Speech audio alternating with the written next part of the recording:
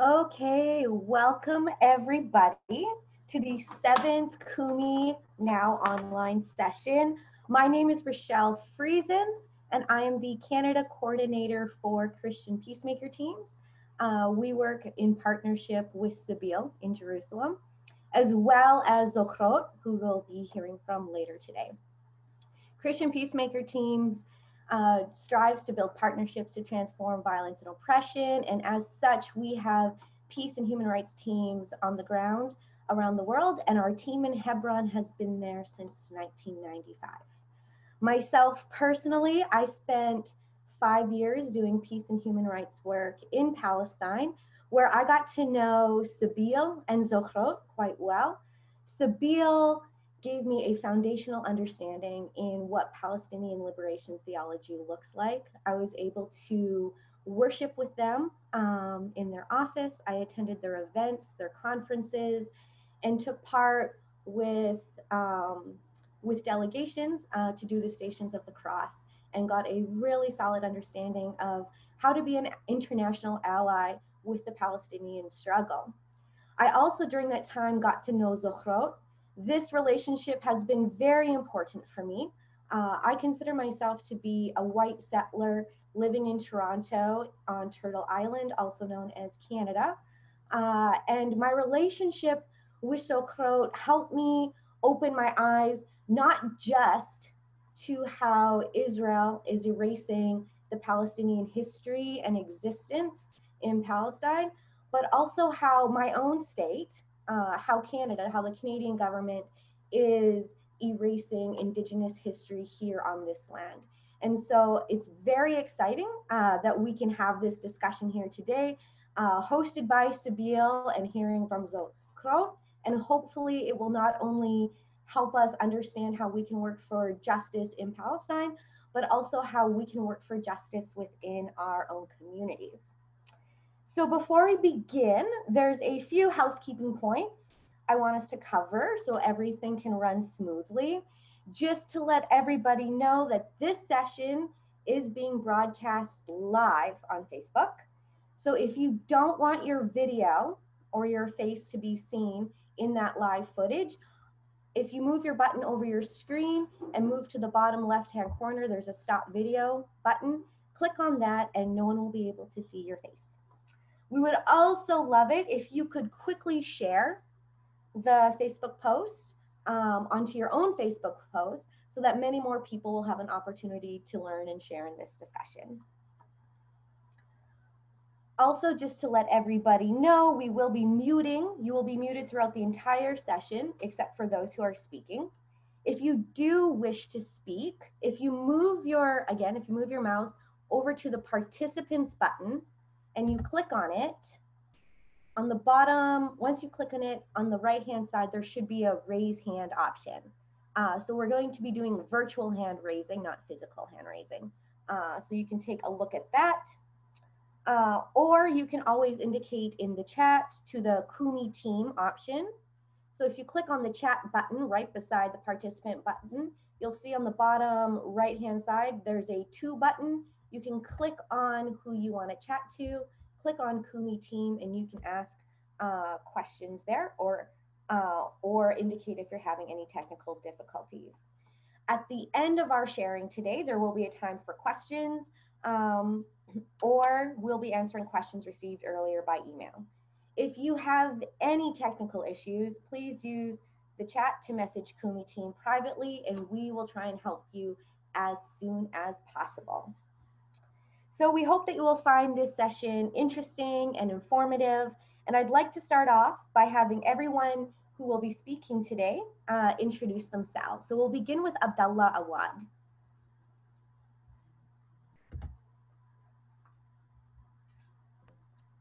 Hello, everyone. Uh, my name is uh, Abdullah Awad. I am member of uh, Al Sabeel uh, General Assembly, um, as well as the director of uh, Dr. Hanan Ashrawi's office uh, member of the PLO Executive Committee. Uh, I'm happy to be with you here. Um, and I'm going to provide you with a general update about um, what's going on in Palestine. Uh, Palestine is uh, at a turning point at the moment. Uh, the COVID-19 pandemic is spiking in Palestinian cities, villages, and refugees camps, uh, while Israel continues its legal theft and annexations of what's left of historic as for COVID-19, I'm going to provide you with some numbers, um, just you know, short brief. Um, as as for today, this morning, there were at least over 7,700 uh, cases of the virus in the West Bank, East Jerusalem, and Gaza. Uh, out of that number, uh, only 1,300 patients, a little over, uh, were in recovery. Um, of the active cases, uh, we have around um, 1,000, over 1,000 in Jerusalem, uh, eight in Gaza, and Hebron remains to be the epicenter of the outbreak with over 4,400 uh, active cases of the virus. Unfortunately, 45 people have died uh, from the virus. And to be honest, the situation is not getting any better.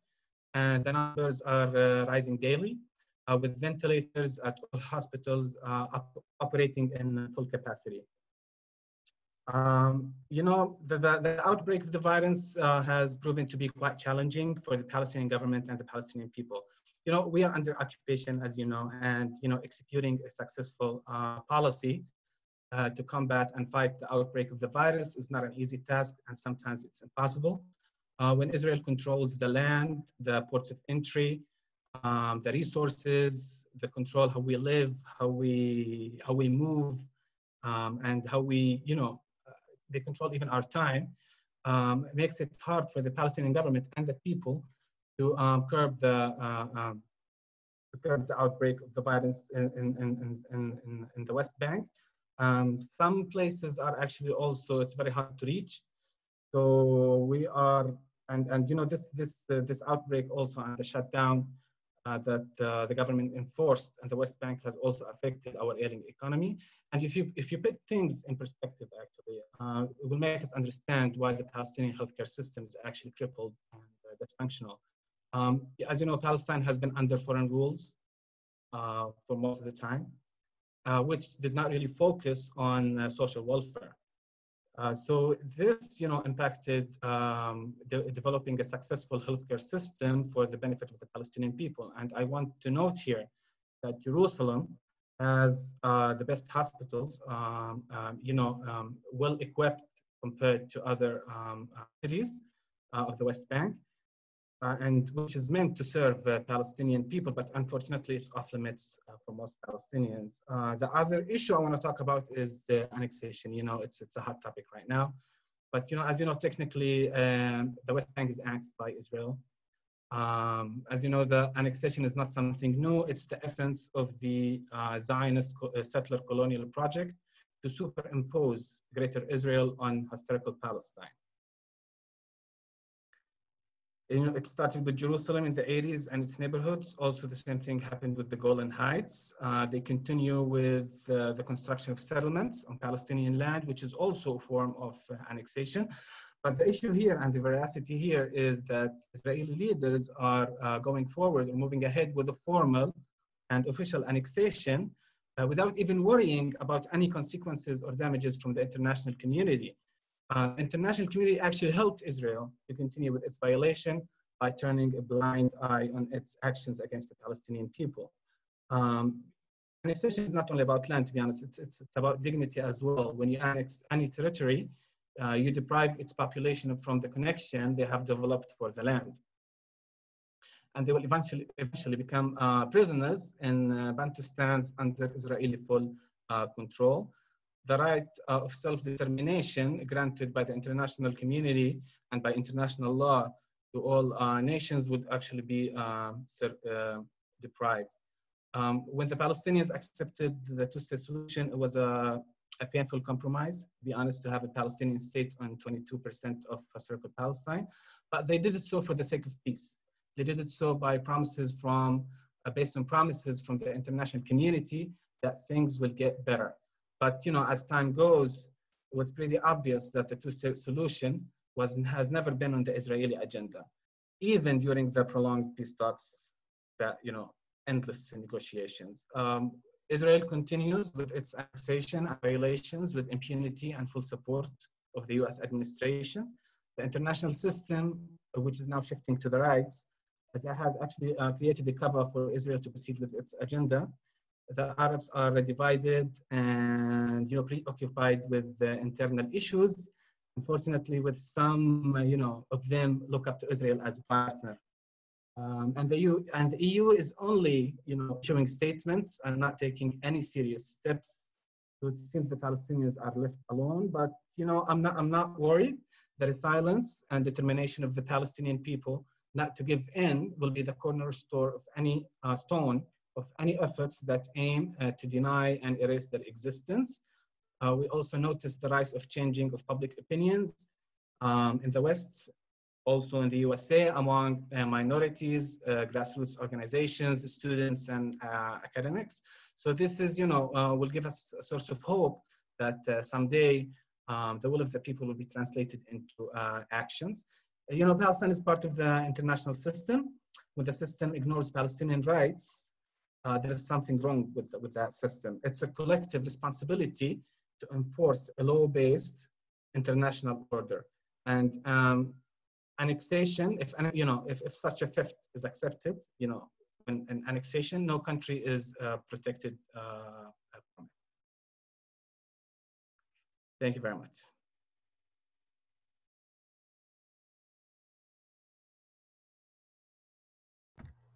Thank you so much, Abdullah, for that very, very important update. Uh, so today we are going to be hearing from Zochrot. Uh, and so today we are going to learn about the right of return and the Jewish National Fund, also known as the JNF. This is more than just a learning opportunity though today. And so for those who don't know, the name Kumi Now uh, comes from the word kumi in Arabic, which means rise up. And the ultimate goal is to engage in advocacy for Palestine around the world. To this end, our kumi actions and hearing from organizations on what we can do to help them are critical pieces by which we will measure our success. So enjoy the session today, but also think about how you can take part and engage with Zochrot and other organizations we work with it might be you might find creative ways to continue this advocacy and this engagement after the today's session and it might be through a donation. It might be following groups on facebook. It might be sharing articles and videos. It might be buying a book signing a petition uh, and keep working on sharing information about kumi now far and wide. The more people that we reach the greater impact we will have so with that in mind, let's turn over to today's session as we partner with Zochrot and learn about the right of return and the Jewish National Fund. Uh, my good friend Omar Al-Ghubari is going to share first. And Omar, I just ask that you give a brief introduction about yourself before, before you move into your formal presentation. Thank you, Omar, for being here today. Okay, thank you. Thank you, Rochelle. Thank you, Sabeel, for this opportunity to present the work of Zochrot. Uh, good evening, everyone, or morning, or good day, depends where you are. Uh, my name is Omar. I'm Omar El Ghubari. I'm a Palestinian that was born inside the state of Israel in a small village very close to Nazareth. Um, one of these uh, villages that uh, survived 1948 events and uh, um, continued to uh, be existing in the same place and the same location that used to be for hundreds of years, unlike uh, some 600 other Palestinian villages that had been destroyed by the state of Israel and its people were expelled, uh, mainly in 1948, but not only in 1948. Uh, we will talk about the Nakba and the 1948 events, but for me, 1948, it's just a, it's, it's a term, it's a concept the events, the occupations, and the expulsions of the Palestinian people uh, uh started before 1948 and continued many years after. And of course, we are witnessing uh, uh, different kinds of expulsion of Palestinian communities even in these days. So this is the meaning of ongoing Nakba and the, um, uh, the pressure against the Palestinian communities in different ways by the state of Israel and the government of Israel is still ongoing till today.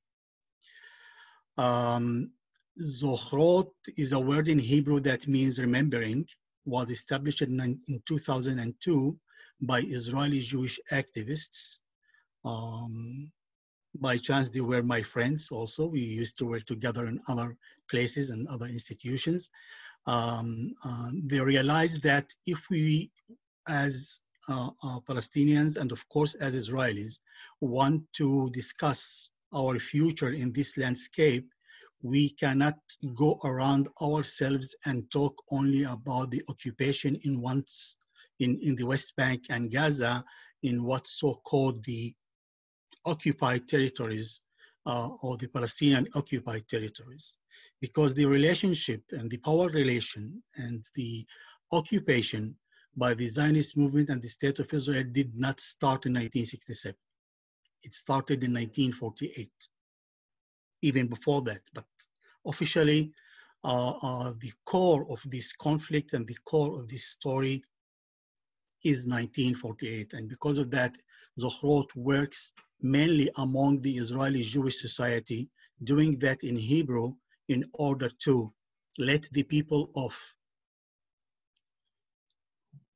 uh, the, uh, the Israelis know about the Nakba and the events of the uh, 1948 because most of the Israelis will grow up in this country and uh, uh, uh, will learn in the Israeli educational system without knowing almost nothing about the history of the Palestinian people and what happened to the localities that used to be existing in the same place that the state of Israel was uh, uh, established.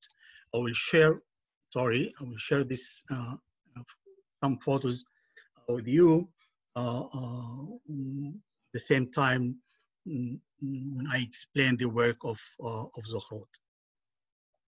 So the, the main goal of Zochrot is to face the Israeli concepts and the Israeli uh, uh, policies in order to hide the information and the knowledge about the Palestinian people history and the Palestinian towns and villages that had been destroyed by the state of Israel. of course, when we talk about uh, facing the Israeli conceptions and perceptions, we talk about knowledge and we talk about responsibility and acknowledgement uh, by the Israeli side for what they did or their government or the state did to the Palestinian uh, people. Um, uh, so we talk about the uh, expulsion of more than 750,000 Palestinians in 1948 based on the Zionist perception that this land was empty and it will be prepared for people with no land uh, um, uh, during the during the years, um, believing that Palestinians who lived here, or they call them Arabs, some a few tribes that came to this place uh, accidentally and they uh, uh, and they, and they, they never approached or they never uh, considered the Palestinian people as people or as nations. So in my interpretation, it is easier to expel people that you don't believe that they are nation or belong to that place. Uh, so it was easier to destroy, for example, beautiful city like Jaffa and to erase this neighborhood and create the promenade of Tel Aviv on the beach of Tel Aviv.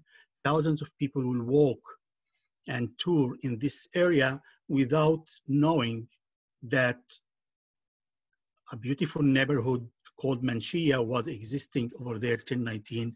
Uh, or maybe they will live in a Israeli town and they are entering this synagogue without knowing that it was a mosque till 1948, like this one in Nes Ziona that was in the village of Wadi Hunain that was expelled in 1948 or sometimes you will see beautiful houses, beautiful buildings, they will say, okay, this is very beautiful Arab house without knowing the real history and the real responsibility of the Israelis that expelled the family from this place. And in the same time, they will hide the identity of the, of the place or the house like this uh, cover that you see hiding the, uh, the, some lines in Arabic in the village of Deir Yassin, which became a neighborhood inside Jerusalem, West Jerusalem.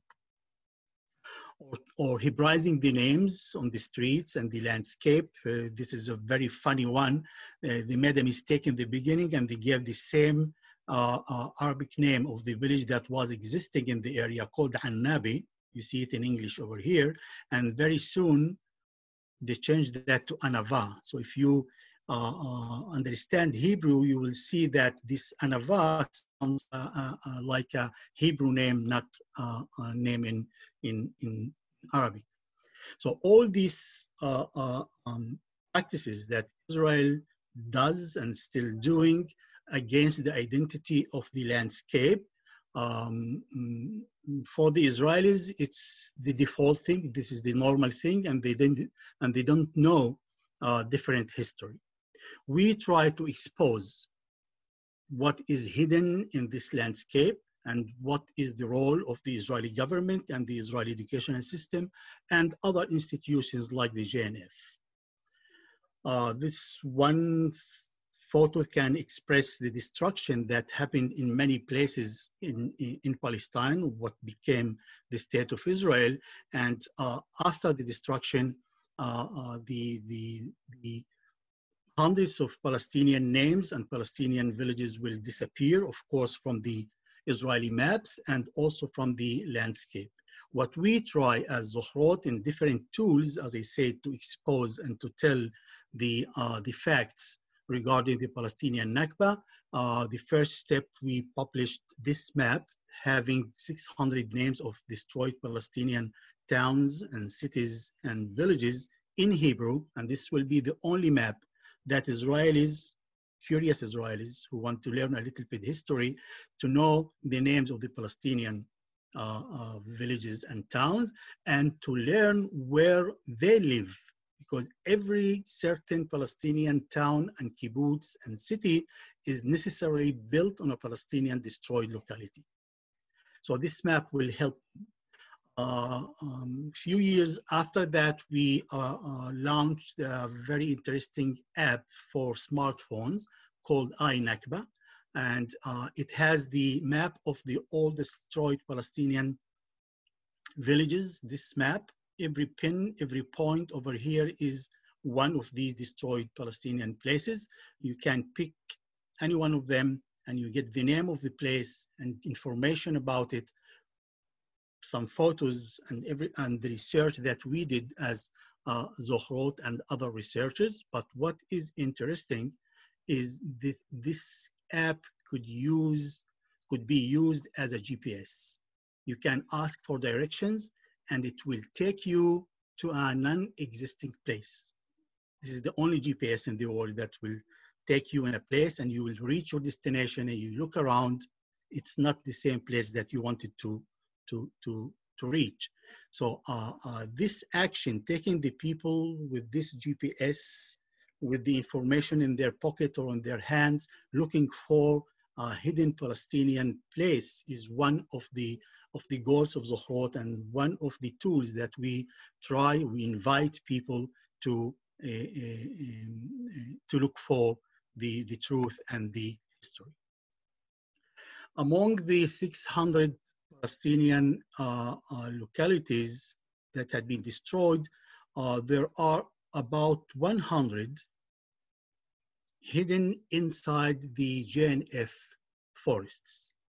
The JNF is a very strong and racist institution that was established in 1901 as part of the Zionist movement and the Zionist movement companies and institutions.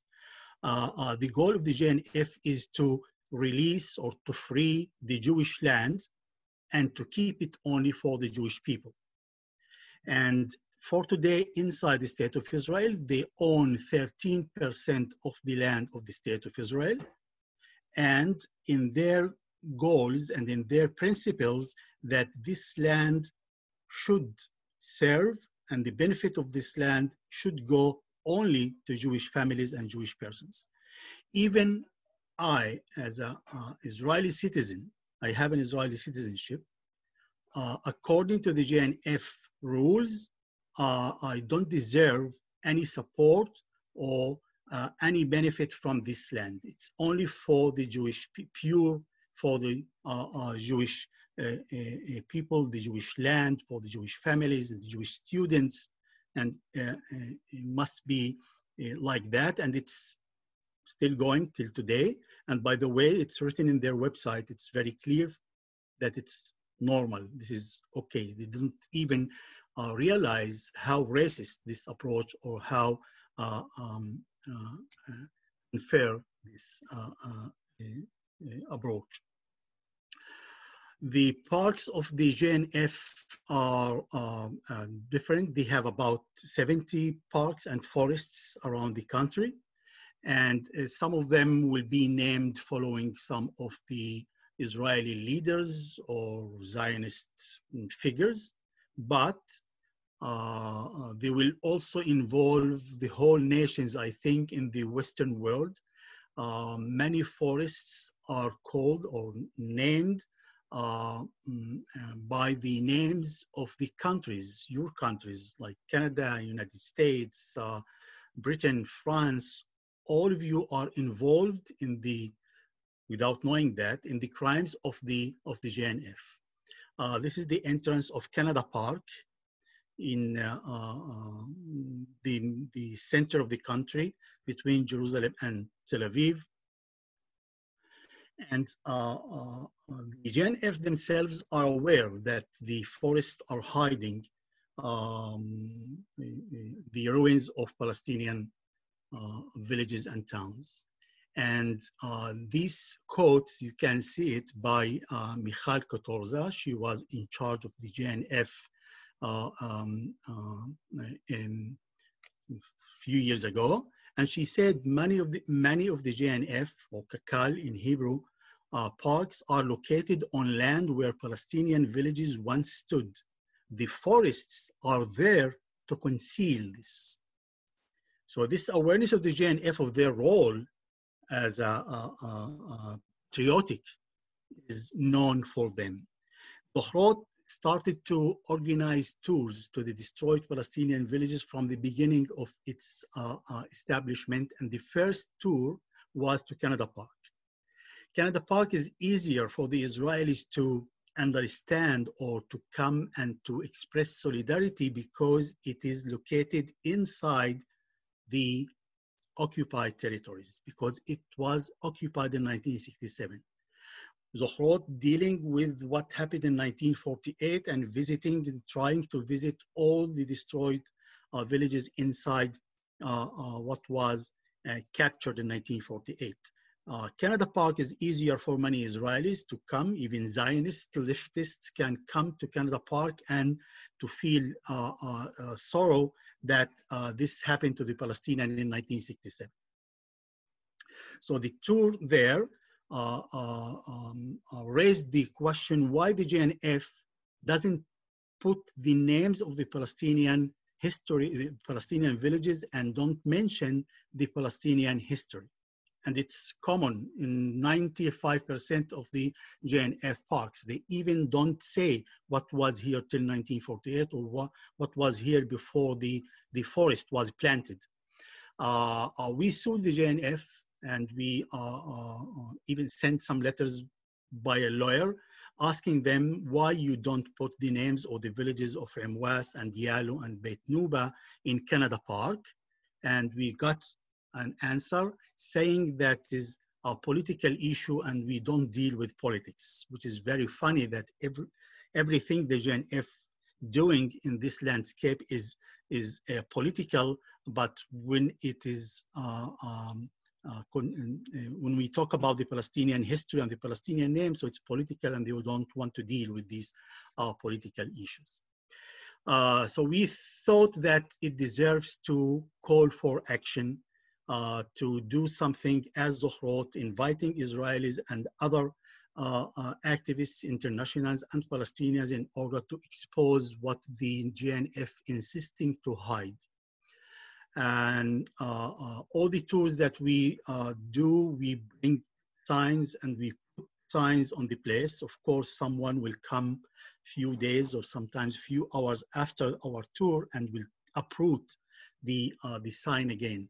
Uh, by the way, we believe that this action, that when we put a sign and someone will come approaching the sign, it's, it's, it's kind of, of action that we moved the JNF officer or some Israeli tourists who are coming to the area and they don't want to see different history or different names and they're doing that by their own hands. They uproot the sign in order to take part in hiding the history.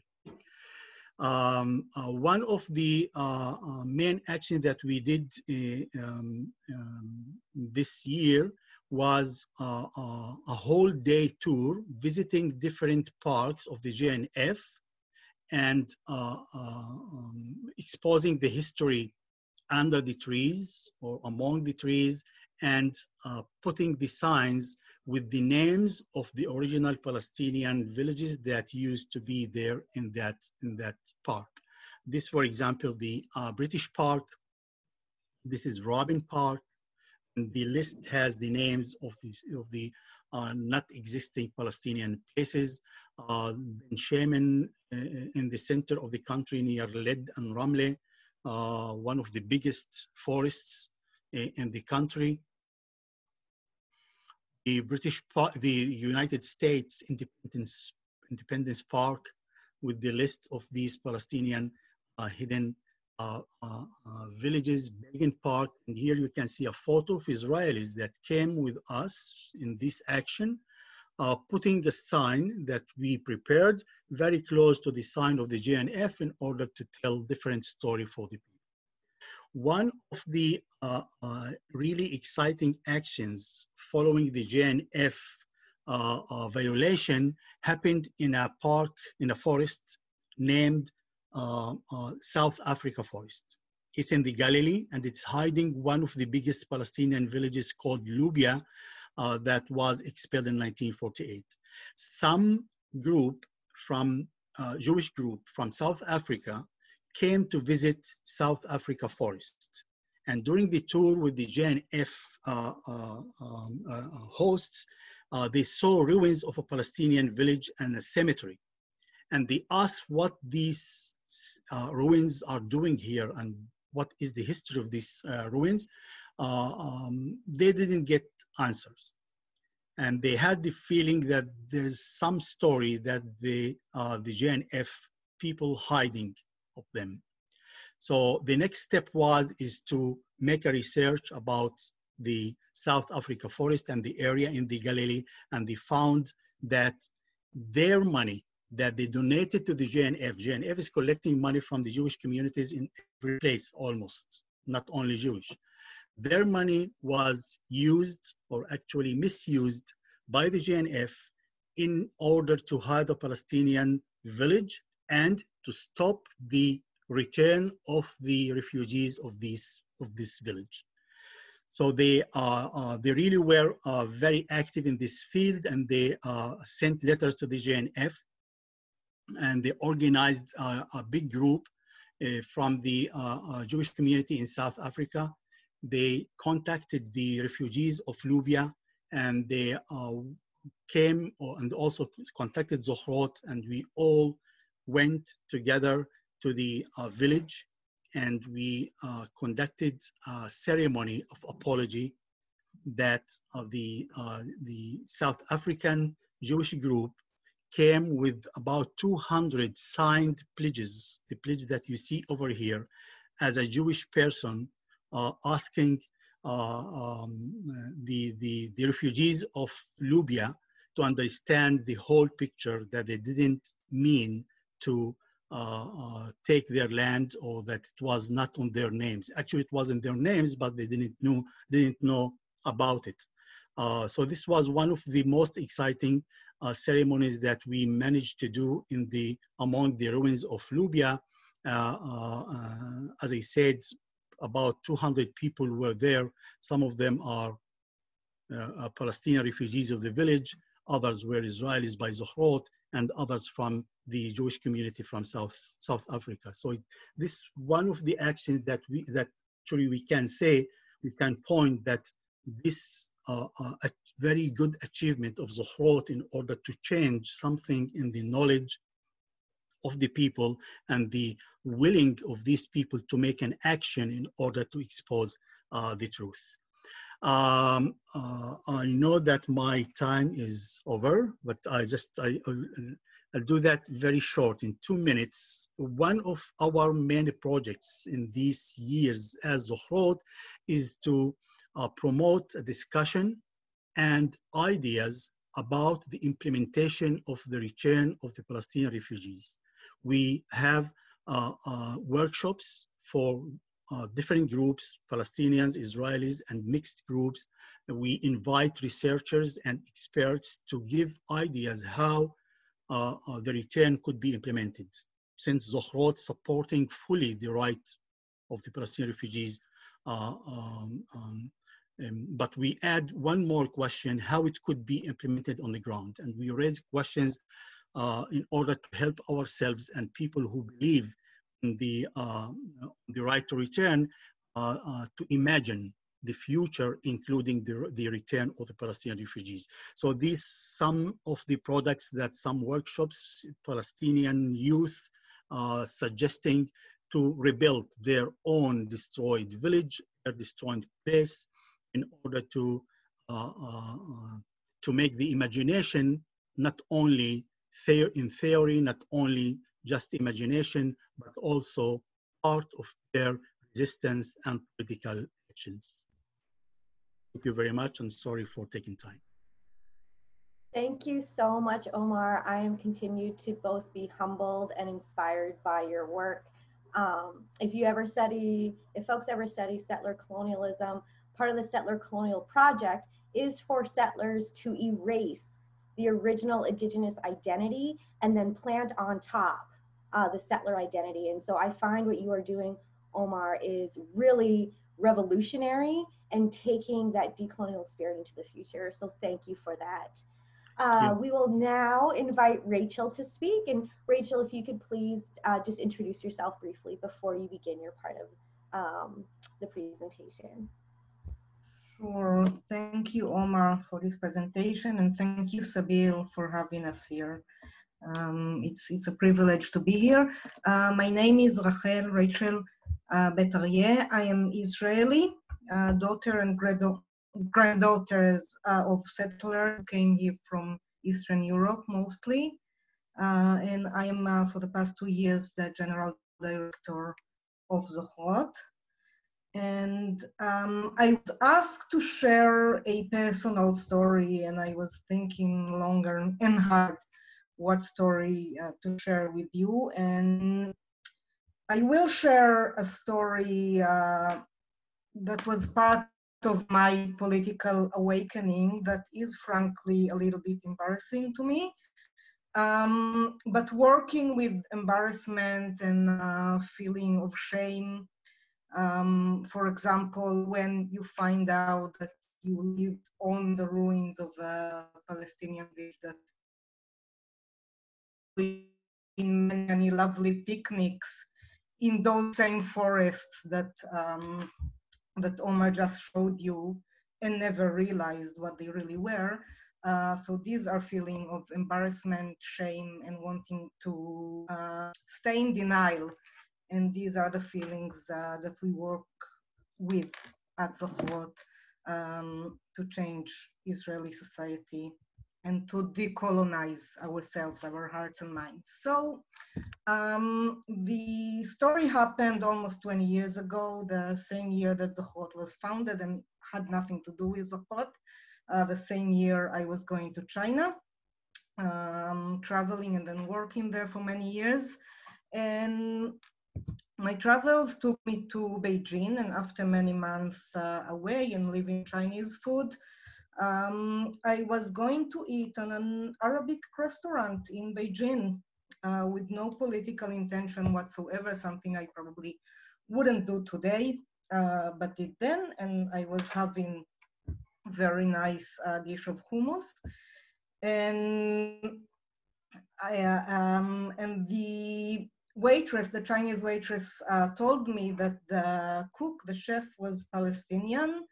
And would you like to meet him? And I was no, not really because that's embarrassing, but he was already there. Um, and I assumed he was from the West Bank, but no, he was a Palestinian born in Syria uh, to a family of refugees and told me immediately that he was from Safed in the Galilee. Um, and heard I was Israeli and asked me if I've ever been in Safed and um, I told him I was, of course. And he asked me, could you just tell me, describe to me what it's like, what it looks like? Um, and that was kind of shocking to me and I did my best and it was a very strange conversation in uh, a few words of Arabic and broken English and broken Chinese to try to describe uh, that landscape that uh, I knew very well and was missing for about a year that I was away from home. Uh, and for him, he was missing all his life and couldn't actually see and go back there. Um, and he tried to tell me how much um, he grew up on his family's stories from Safed and how much he wanted to go back there. And it just came out that I told him, well, I hope you will go back someday and will return. And I wasn't that politically aware at the time. I don't think I ever thought about the right to return uh, as a real political option. Um, but it seemed so um, common sense to me at that point. Why wouldn't this man have the right to just return home? Which is the basic right of everyone. Um, and I would have loved to leave this story as is um, and as kind of a feel good story, uh, but there is another part to it. So we parted, and I was boarding a very long um, train ride uh, that night. And when we parted, he said, Hang on a minute, and went into the kitchen and brought back more hummus for your train ride, please. Um, absolutely refused to get paid for that. Okay, I took it and uh, I went back to the hostel where I was staying. And just before I left the city, uh, I met a group of uh, other Israelis who were traveling. And I, of course, was very happy to meet them. Uh, as you are in a foreign land, uh, speaking your own language, all of a sudden, after many months, and uh, I was telling them quite excited and moved uh, about this encounter.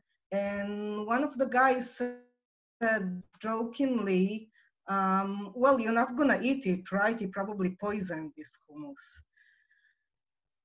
And I think this moment came back to me and kept coming back to me for years after that because the abyss between um, this man who was supposed to be enemy and was friendly and generous and curious and those people who were supposed to be my own people and were just hateful and, and racist in this um, casual everyday racism that maybe I wouldn't have noticed that much um, a year or two before, but some time away from home made me notice this incredible gap and uh, this need that we have to dehumanize and to uh, suspect and to see every Palestinian act as an act of terrorism in order to defend the undefensible. Um, and this was something that just came back to me um, again and again. And as I worked my way towards uh, activism and activism for return, and it's something that I try to, to project to other Israelis the way we talk about Palestinians and why we do that uh, in order to deny basic rights. And can we let go of this? And can we think of another path common sense path and a just solution that includes the right to return. Um, so that's the story and these are the uh, materials that we work for in Zochrot, first and foremost, to work with settlers, with Israelis, um, and to do a work of decolonization right here. Thank you. Thank you so much, Rachel, for your story. And I think you you've really drawn on some really important points around like as as someone that perhaps comes from the oppressor class uh, in the country, having to deal with feelings of embarrassment, having to deal with feelings of shame, but not being stuck in that, that we have to take a step to decolonize ourselves um, and become accomplices in the decolonization project. Uh, so thank you so much for your words. We will now move into a time of questions. Uh, so please feel free to write your question in the chat uh, and we will see how many we can answer.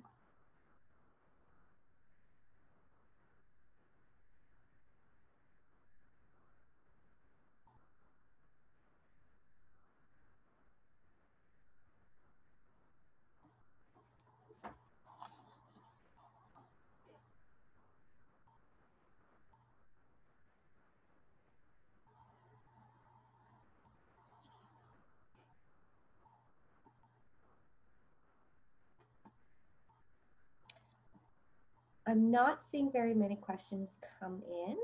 Um, so I will ask a quick question, um, and it's for either Omar or for Rachel. How can, what should we be doing um, in our countries where we are if we're if we're not uh, from, from if we're not living in Palestine?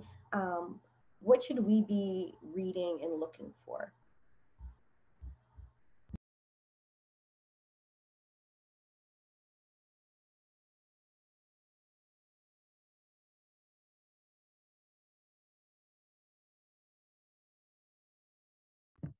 Trying to, uh, okay. Um, I think there's a lot that you can do. Um, the Stop the JNF campaign was mentioned before in the UK. Uh, there is another campaign that I, I know of in Canada by Independent Jewish Voices that is ongoing uh, to defund the JNF, to take their uh, uh, tax benefits away. I think that's very important. Uh, and raise awareness in your communities, especially if you belong to any Jewish communities, because I think the legitimization of the state of Israel um, comes in, to a large part from uh, Jewish communities abroad and their support of Zionism. Um, and taking that away is very meaningful for us and, and, and helping us uh, doing our own work of pushing um, Jewish people in here in Israeli society um, towards a different and bet better political path. Um, so find out what campaigns are ongoing, uh, support Palestinian-led campaigns, um, and share this knowledge in your communities. Thank you.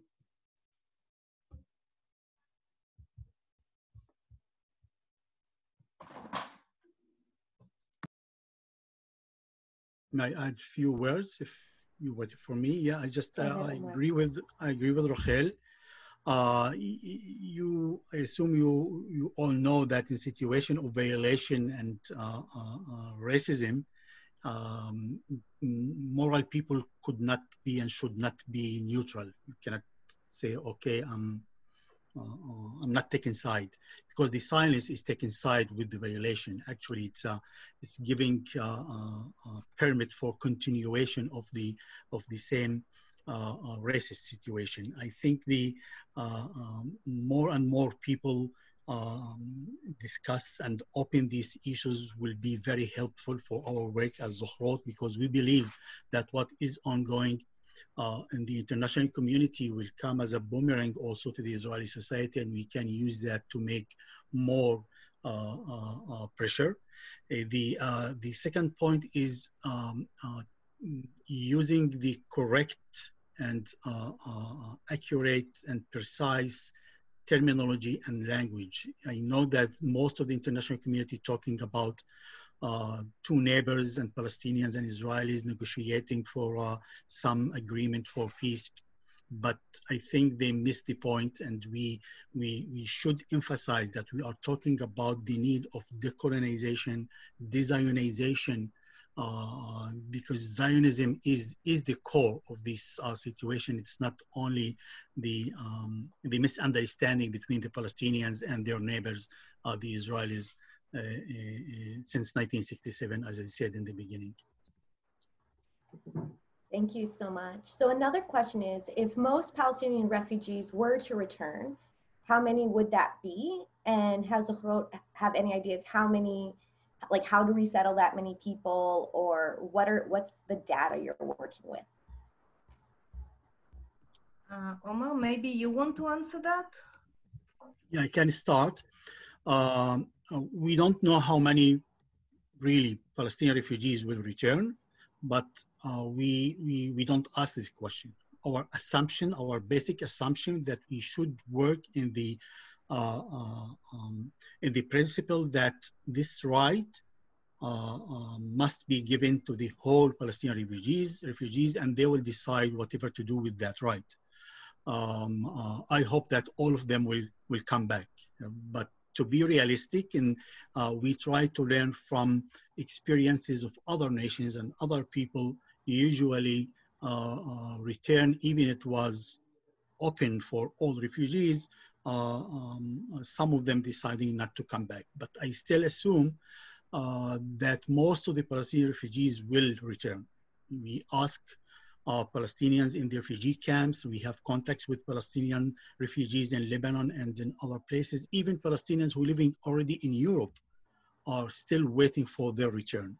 Um, um, so I, uh, I don't have exact numbers, but I, I still believe that the majority will do that. If there's a space for them, of course. Uh, usually we face this question from Israelis, by the way. Many Israelis will ask, but there is no room over here. By the way, the Israelis are, uh, um, um, according to the Israeli law, they have to accept any Jewish person who living in the world if they decide, or she or he decides to uh, immigrate uh, to the state of Israel. And uh, they never asked if there is a room or, or space uh, for these Jewish immigrants if they decide to do so. I believe the, the question is not a space. It's a, a political uh, willing and political uh, question.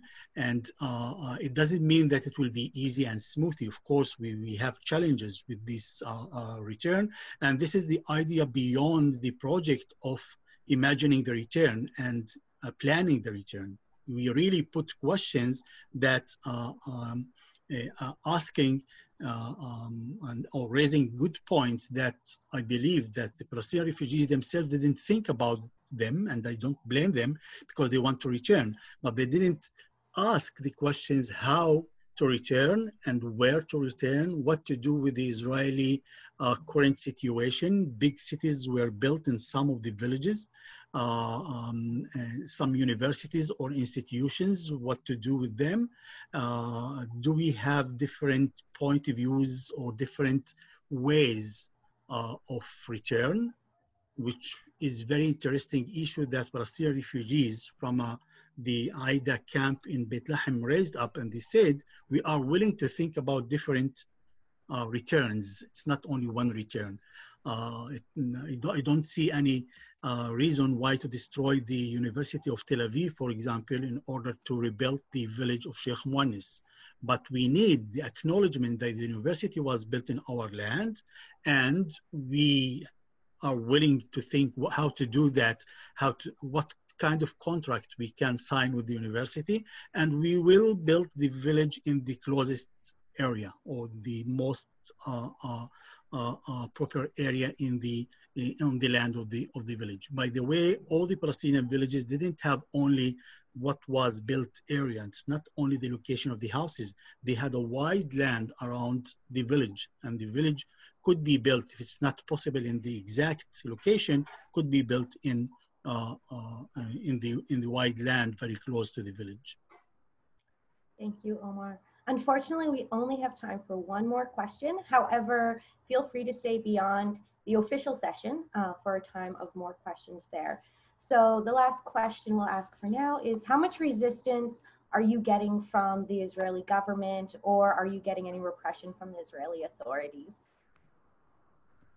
Um, yeah, well, we get a lot of resistance uh, from the government, but also from the wider society. Uh, our ideas that for me, again, it just common sense and, and basic principles of human rights uh, that refugees uh, should be allowed to return home. Uh, but these ideas are considered radical for some reason. Uh, and we get um, harassment sometimes on the tours when we take people uh, to destroyed localities, like uh, you saw uh, at Omar's presentation. Um, the police would sometimes um, try to ask us not to do that uh, or come and follow us. And sometimes private citizens would just be uh, unhappy of us uh, doing that. One time, uh, Zochrot activists were uh, wanted to do an action in Tel Aviv on the Israeli Independence Day Eve, and the police uh, circled the offices and would not let people out. Um, we have to remember that um, this, these harassments are minor compared to what uh, Palestinians, especially in the West Bank and Gaza, are going through.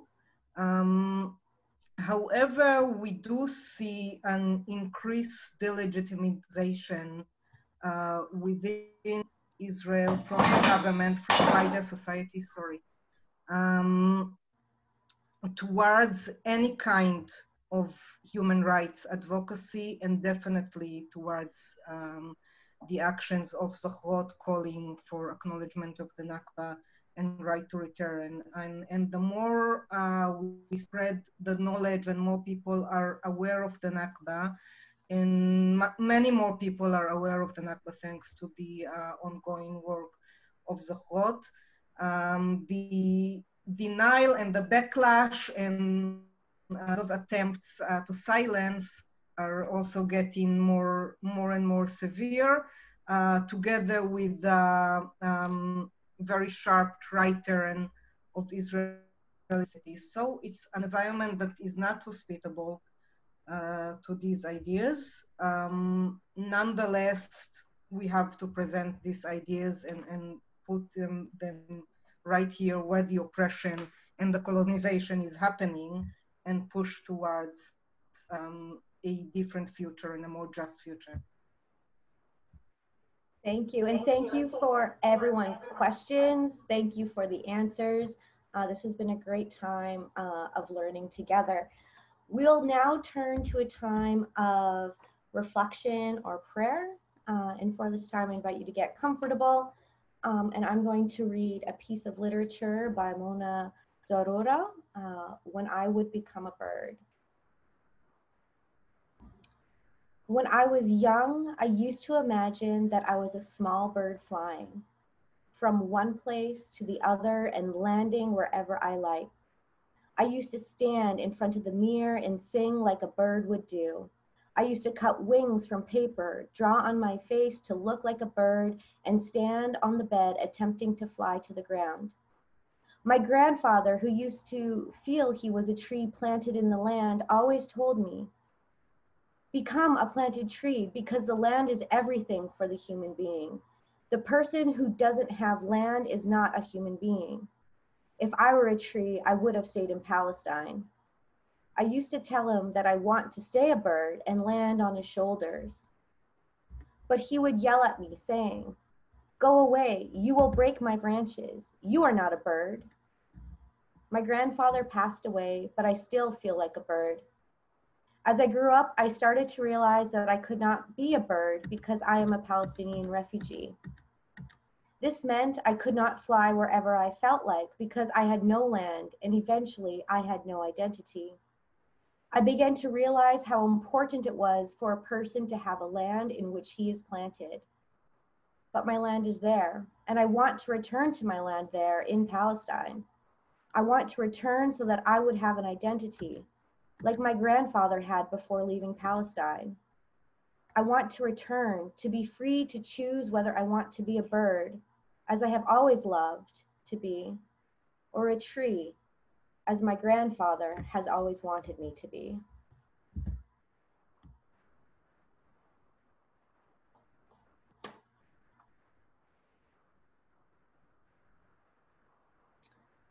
So thanks again, everybody, for taking part in this wonderful session and for Rachel and Omar for all your wonderful information. Um, it is great for all of us to learn about the right of return and the JNF. But we at Kumi Now believe that knowledge is just the beginning. The reason that Kumi Now exists is to empower people to act on their knowledge. With this in mind, we've created a single advocacy action that anyone around the globe can participate in, and it will be posted in the chat and is also available on the website. So this week, we would like you to first watch The Village Under the Forest. It's a 54 minute documentary that tells the story of Lubya that Omar talked about previously. Uh, and the village is described, was described this morning and it will also be in the documentary. Screen it for your class, for your church, for your group, for your family, for your community, um, maybe your social distancing bubble, whatever your region is sort of doing right now. Now's the time to learn. And you can purchase the video online for less than $8 US or you can rent it for $3 US, and all the links should be in the chat. But we're not gonna stop by just watching the film. There's another thing we need to do. So Lubya, as you heard this morning, is just one of the many destroyed Palestinian villages that have been covered by the JNF forests. And they're funded by uh, many, by people from all around the world. So if you look at these forests on Google Maps, you'll see reviews that praise these locations, that they're these wonderful, beautiful places. Go ride your bike, go on a picnic. But there's nothing mentioned about the original villages. So this is where we come in. The stories, rights, and villages of Palestinians are being buried online just as they are in real life. So alert other travelers to the true stories of the lands they are using by leaving a review on Google Maps. So we would suggest you leave a one or two star review. I'd go with one, uh, but one or two star review and saying something like, what a beautiful area. But the truth is the forest was planted over destroyed Palestinian homes and villages and that, and is land that rightfully belongs according to international law to those refugees and their descendants. I encourage everyone to urge the JNF to both acknowledge and right these wrongs so that Jews and Palestinians may live as live in peace as neighbors. So if you follow the link to the full action, you will find further information about Lavi, which is what Omar mentioned today, which is the South Africa forest, and about Canada Park, Canada's forest, the UK's, the United States donations, and how to leave reviews of the forest they have funded to cover up Palestinian villages. Finally, there is more information um, about Lifta. Uh, so Lifta is one of the only Palestinian villages to not be totally destroyed. It is now a park popular with Israeli citizens who like to swim in its pools. If you read the reviews, they are overwhelmingly positive with no mention of the injustice done to its owners. Uh, and the cleansing of uh, Lifta actually took place before 48. Um, if I understand correct, Omar. This is what you taught me. Um, so the link, there's a link in the chat uh, where there's a short film done by Badil that you can watch called Sons of Lifta. And you again can write reviews on Google Maps there. You can share photos of your screenings on Google Maps. Uh, you can take your review, snap, uh, screenshot it, put it on your social media to show that you have done this action, and include a link to this page uh, of Kumi Now website and also include the hashtags, hashtag Kumi Now and hashtag Kumi Now 39. So thanks again for everybody. Rachel and Omar, do you have any thoughts about this Kumi action that's taking place? Well, I would like to thank you again. I think it was very, very good uh, uh opportunity for Zochrot uh, to present the work for um, so many people. And uh, I hope, as you said, Rochelle, that this information should not stop over here. It should be taken and uh, and be talking and discussed uh, in every circle that we are involved in in order to um, push more and more people towards making justice and making return for the Palestinian people. Um, so yeah, really, it was for me a very good opportunity, and I, I hope that we dropped one more drop in the awareness regarding the Nakba and the return of the Palestinian people. Thank you, Omar. So thanks again for being with us today. And next week, uh, we'll be joined by Pilgrims of Ibillin and the three-time Nobel Prize Peace Prize nominee, the former Archbishop and founder of Mar Ilyas Schools, Abuna Ilyas Chacour. He and other guests will address the barriers to education that Palestinian children face, particularly around discriminatory funding practices. So we hope to see you all back next week. And if you like what you've seen today, we'd greatly appreciate it if you'd help us spread the word to your families, to your family, your friends, classes, church groups, online groups through social media. You can share this webinar even after it's no longer being live streamed. So now we have reached the formal end of the meeting, but if you'd like to hang around, uh, our guests have offered to answer a few more questions and chat. And so this week we ask that anyone who wants to speak to please raise their hand and you can do so. Again, it's a virtual hand raising. You click on the participants button and then you'll see three buttons. One says invite, one says raise hand on the right hand side. That's how you virtually raise your hand. Um, and I will call upon you and you will have one minute to speak please ask that you don't give a lecture or a commentary, but ask a really nice, good, concise question. Uh, and we know, uh, so now is a time that we can hang out and chat and the formal uh, recording of this should be ending soon.